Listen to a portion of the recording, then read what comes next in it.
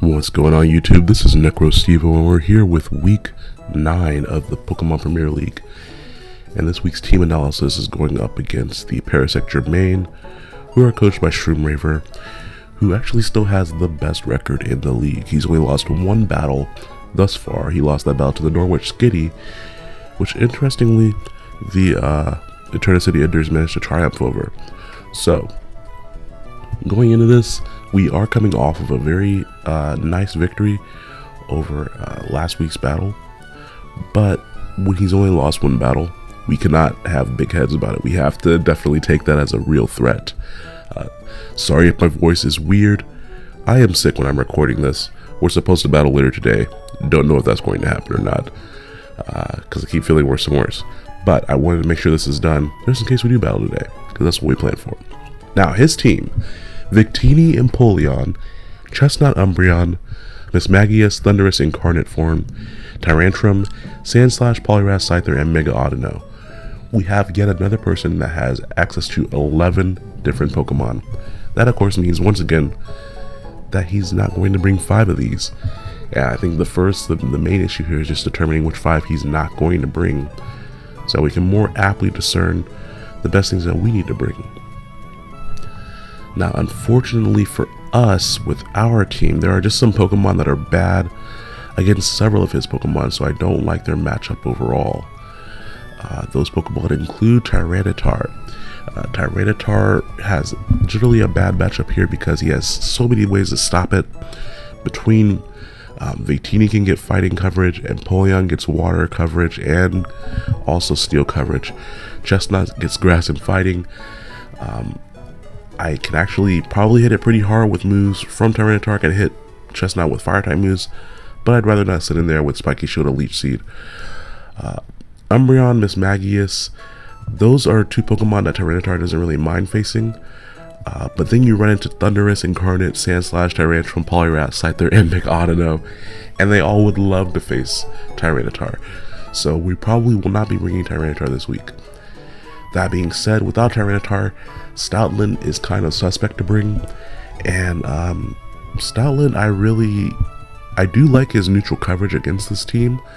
Uh, he even gets superpower for Empoleon and for Tyrantrum and Crunch for things like Mismagius. But even with that Sand Rush ability, he can just have Thundurus and paralyze it, so Stoutland may not even be the best Pokemon for that task. Now, I really like Cofagrigus for this matchup. Uh, he has nothing to get rid of Toxic Spikes except for spinning them away with his Sand Slash, and I would love to Toxic Sand Slash. All said, he has one, two, three, four, five, six, seven Pokemon affected by the Toxic Spikes.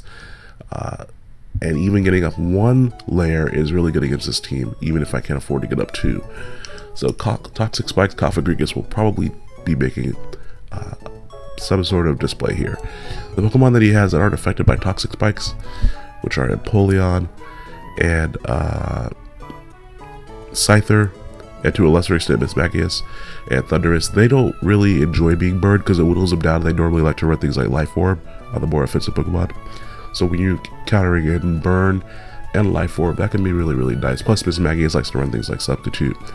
Or as I've seen him run, uh, Mismagius also likes to use Perish Song and Mean Look. So if it's getting whittled down, my burn, it doesn't really enjoy that either.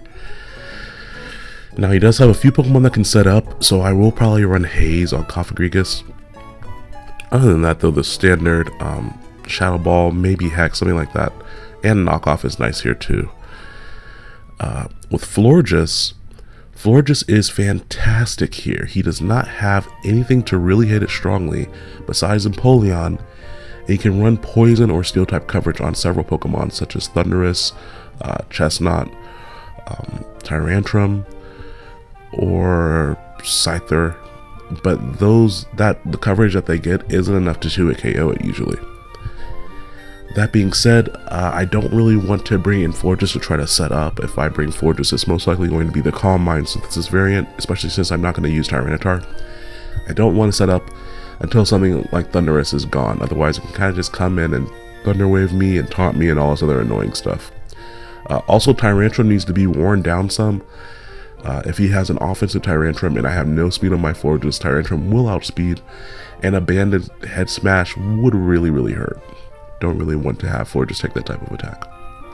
That being said, I can one hit KO Tyrantrum with basically no offensive investment on Florges, so that's kind of nice.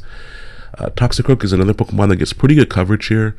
Uh, Sucker Punch is very nice for something like Victini and Mismagius and even Thundurus, especially if I'm behind a substitute. I'll have to decide if I want to run substitute or swords dance because I really need gunk shot, drain punch, and uh, sucker punch. Uh, gunk shot is just great neutral coverage against a lot of his Pokemon. It gives me a secondary way to check the Mega Audino in case he tries to set up with it. Uh, and also, gunk shot just hits Chesnaught incredibly hard. Now the bad thing is, is the accuracy, which we have run into missing gunk shot before, but that's just a risk that we'll have to take.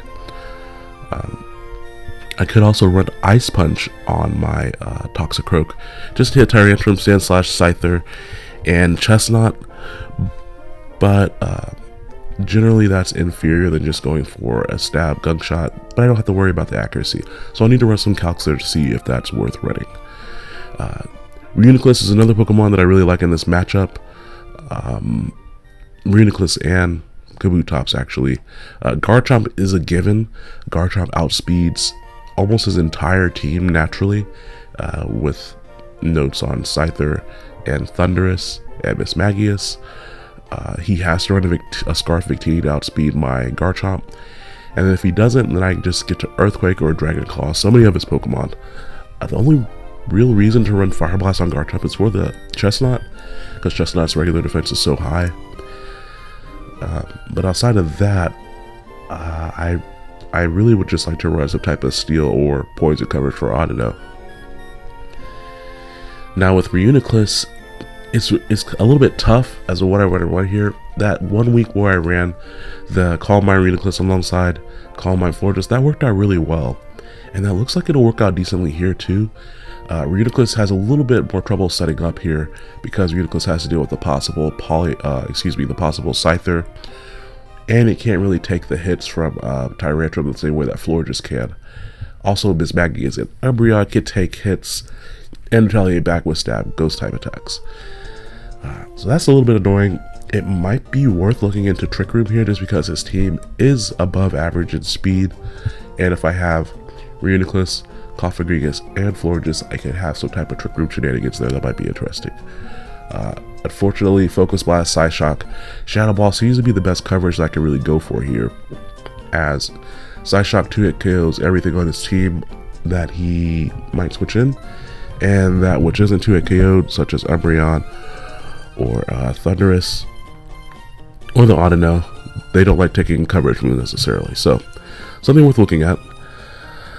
Uh, with um, Kabutops, I really like Kabutops here just for a check for Victini. Aqua Jet just smacks Victini in the face, and there's not much Victini can do about it. Uh, that doesn't really help that Kabutops is a little bit of dead weight against the rest of the team. Uh, the rock coverage is nice against Thundurus, but again, I don't really want to get hit by a priority Thunder Wave. And there's no real way for Kabutops to outspeed Thundurus outside of a Choice Scarf. Uh, also, Poliwrath is a complete dead stop to Kabutops, which I really don't like. I don't like it when a Pokemon can just switch it and there's basically nothing I can do to it. So, and I'm pretty sure he's going to bring Poliwrath. I've seen him bring it uh, Salt Vested before. And Poliwrath is a pretty cool water type with the water fighting type coverage. So I, I definitely have to watch out for that. Now, as far as what he's going to bring, I definitely expected to have Victini, Victini and Mega Audino, maybe a Scarf Victini, uh, I don't think he's going to expect. I don't think he will believe me to bring um, anything like Kabutops and Sandrush Stoutland, but he does still have to deal with the standard Mega Lopunny, which I will most likely be bringing. And of course, Victini does outspeed that to a degree. Um, with Mega Audino, I do think he'd bring a defensive one that might be able to set up here, but since I have Toxicroak, he might just have it for a team support type Pokemon uh, just passing around wishes and heal bell and that type of thing. Uh, because it's very likely that I would bring uh, toxic spikes here. Heal bell Audino could be very, very annoying. Um, besides those two, Thundurus incarnate form would be he, I, I just don't see him not bringing that. It gets fantastic neutral coverage against my team with the, with electric type attacks, and if Garchomp switches in, he can hit it with the hidden power ice. So he will most likely be bringing that, and he can even bring it mixed with uh, moves that hit my Florges or um, moves to, to do a little bit more damage to something like Reuniclus. Uh, so he has a couple options there. Priority Thunder Wave is very, very annoying, so I might have to throw some Lum Berries around. Uh, so that's three Pokemon I expected to bring. Uh, I also expect Sand Slash. Sand Slash not only would pick up Sand Rush from my own Tyranitar, which could be very annoying, but it can also spin everything away if I try to set up anything. Um, Sandslash's ability to hit a lot of my team with Earthquake, also relatively annoying. Uh, actually pretty effective here because I have so many grounded members. It's a good thing he doesn't have too many Pokemon that can use spikes. Speaking of spikes, I do expect it to bring Chesnaught. Um, just because of Chesnaught's ability to, to whittle some Pokemon down with Leech Seed. I, I think in another league I encountered a Belly Drum Chesnaught. I don't see him bringing anything like that. Um, but it does give him a little bit of a core that's weak to poison if he has Chesnaught and Mega Audino. So I would be perfectly fine with him doing that. Now outside of those Pokemon, it's kind of a toss-up in the last slot there. He has enough bulk between Chesnaught and Mega Audino, but he might also decide to load that up with the Polion or Umbreon, um, which is why uh, Toxicroak is so important. Uh, Chesnaught and Empoleon both struggle to really hit Toxicroak, and um, even if Chesnaught carries a coverage move, it won't one-hit KO, just because uh, it'll probably be a defensive variant of Chesnaught. Um, Empoleon can't use its main move Scald on Toxicroak without recovering Toxicroak's HP, and so that leaves him for using the uh, the, the neutral attack Flash Cannon, which just isn't going to do that much. Uh, Empoleon can learn Earthquake, um, and of course so can Chesnaught, but with that not being their their their main means of attacking, if he has that, that just gives me an opportunity to set up a bulk up again. If I decide to use that Toxicroak, hopefully I won't get crit again. Uh, it gives me a little bit more wiggle room if he tries to go for a coverage move. So, Victini, Chesnaught, Thundurus, Mega Audino, and Sandslash, and then maybe one of those other defensive options. I don't see him bringing Tyrantrum. Uh, I just have quite a few ways of dealing with Tyrantrum. Uh, if he did bring it, I would expect it to be either the Rock Polish or Dragon Dance variant, because after a plus one or plus two, he can outspeed a lot of my team.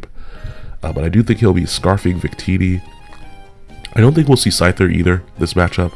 Uh, I think it's actually second in kills tied with Victini for him. But Scyther just uh, overall struggles against a lot of my Pokemon, um, including Florges and Cofagrigus, and losing its ability, Technician is not going to be good for it at all. So I don't necessarily think he'll bring that. Um, he might bring Poliwrath. Poliwrath checks some of my Pokemon pretty decently. Um, it can't do much to Florges, and it can't really do much to Reuniclus. So he's got to expect me to bring those, so he might not bring that either. So it'll be interesting to see what he brings here. I think we can win if I just set up Toxic Spikes and whittle his team down and keep my uh, Putty and my Florges very, very healthy until they have an opportunity to set up. Uh, it'll also be important to kind of play around possible Haxie options. I need to keep as few of my Pokemon paralyzed as I possibly can. I will have aromatherapy on Florges, but again, I don't want to switch to it unless I have to. So just staying away from paralysis is going to be pretty important. So I think that the Eterna City Enders will have an opportunity to pick up a pretty big win here if we're able to win. Um, I still think he's at the top of the table so far. So if we can win here, that'll be a pretty important win and we'll have to go from there. But I hope you guys enjoy the battle whenever I get a chance to have it here. Hopefully I'm a little bit healthier when I have it. And in the meantime, have a great day. I'll talk to you later. Bye-bye.